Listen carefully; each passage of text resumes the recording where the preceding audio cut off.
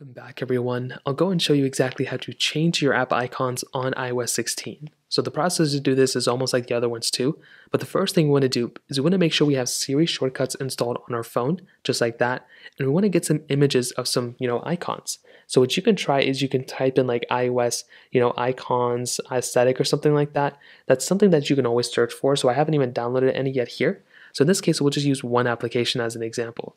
So in this case, we'll just go and keep scrolling down until I find some sort of, you know, application that I want. So sometimes they have big ones like this. You can also search for individual ones. So this one, for example, if I click here, I can go ahead and utilize, you know, this music application as one. I'll go and save this out. So I'll go and click save. So go and hold this down and click add to photos and we'll just use this application or that specific, you know, music application photo as one. So what we want to do is we want to make our way over to Siri's shortcuts just like this. And what we're going to do is we're going to create a new automation. So we're going to click create personal automation up there. In this specific case, and so what we're going to do is we're going to go and click the plus button that's on the top right corner. And what we want to do is we want to go ahead and create an open app action.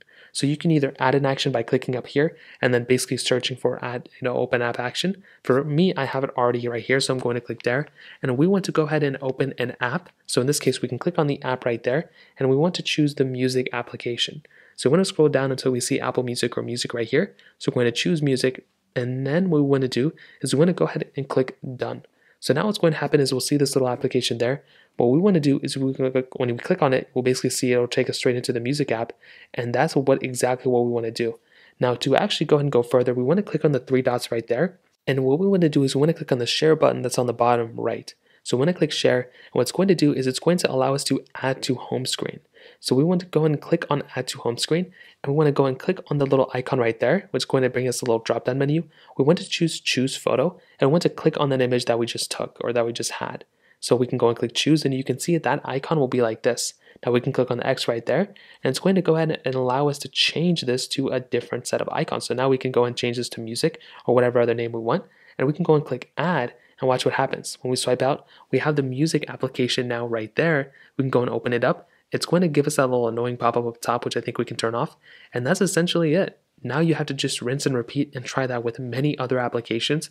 And sooner than later, you can probably have a full-on layout that looks something that's super cool, probably something along the lines of one of these ones. And that's pretty much it. So the process is essentially you have to keep going and you know keep using a different type of you know you have to keep going through and actually utilizing a different type of you know application or different option each single time.